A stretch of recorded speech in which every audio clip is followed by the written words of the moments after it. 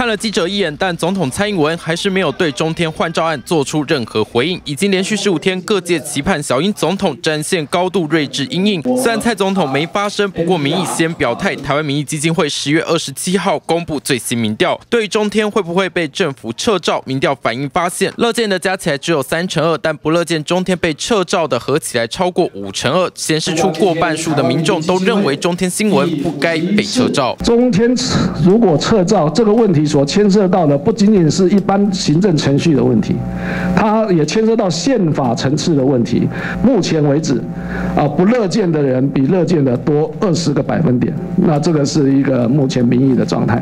青绿智库董事长尤银龙从政党支持倾向交叉分析，不乐见中天被关台的民进党支持者也有近三成，国民党八成八，民众党八成二。最特别的是，实力支持者也有五成二，不乐见中天被消失。再看职业类别，除了自营商。企业主乐见与不乐见的比率只差一个百分点外，其他职业受访者都是一面倒，不乐见中天被撤照。如果说这一场公听会的目的是为了要争取更多人的支持，达成中天撤照的目的，那我会觉得昨天这个公听会显然是失败的。整体的表现跟四十年前美丽岛金法大审的整个场景比起来更糟糕，七个鉴定人好像。